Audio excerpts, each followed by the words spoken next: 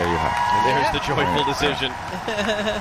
it is amazing when the dogs can figure out when that moment has occurred and you see them jumping up and